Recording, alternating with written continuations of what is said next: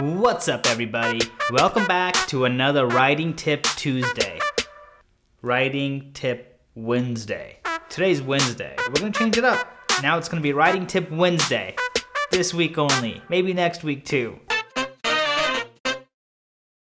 Today I have three tips for you for creating more compelling characters. Step one, show, don't tell. I'm sure you've heard it before, but don't show everything at once. What do I mean by this slightly confusing statement? Show us what causes your characters to make the decisions that they are making. This helps the audience defend all the decisions made by your character. Great example of this is the opening to the movie Kill Bill Volume 1 by Quentin Tarantino.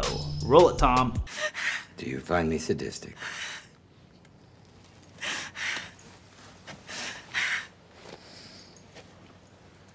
You know, I'll bet I could fry an egg on your head right now. If I wanted to. No, kiddo. I'd like to believe you're aware enough, even now, to know that there's nothing sadistic in my actions. Or maybe towards those other jokers. but not you.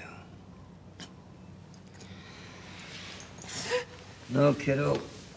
This moment, this is me and my most masochistic. Bill, it's your baby.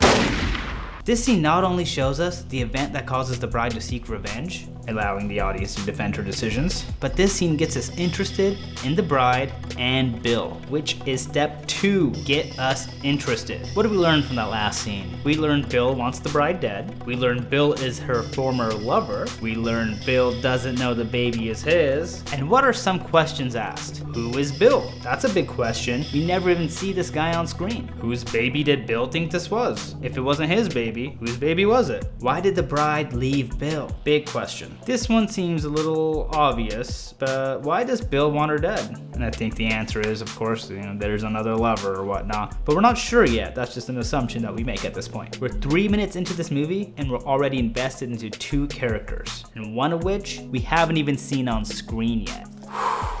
Step three, that's six. Step three, the lingo. Now we talked about this step in our last video, which is linked up here. Each character should have their own unique voice, but not just to have a unique voice. Follow me? The voice of your character needs to relate to that character. Who is this character? Where have they been? What kind of other characters do they associate with? What is their temperament? Etc, etc. For this example, let's take a look at a scene from Pretty Woman. Roll it, Tom. You all right? I'm fine. Fine. Oh, that's good. Seven fines since we left the match. Could I have another word, please? Asshole. There's a word. I think I liked fine better. You know what? Just tell me one thing. Why did you make me get all dressed up? Well, for one thing, the clothing was appropriate. No. What I mean is, if you were gonna tell everybody I'm a hooker, why didn't you just let I me wear my not. own I clothes, not. okay? I mean, in my own clothes, when someone like that guy Stuckey comes up to me, I can handle it. I'm prepared.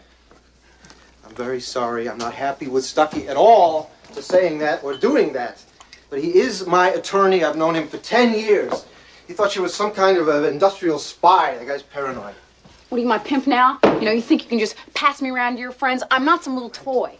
Now you'll notice that the hooker is far more blunt than the millionaire. You'll notice the difference in their speech. You'll notice how one approaches an argument in a very different fashion than the other. And most importantly, you can see that these two characters come from very different worlds. This is their world colliding. That's it for this week. Thank you for watching. Like, subscribe, whatever. More importantly, comment. Let's start a discussion. Let's talk about things. What are some of your favorite characters? Do you have some requests for more of these writing videos? Down below in the comments. All right, thank you. Thank you for watching. Now go write some cool characters. Tell me all about them. Peace.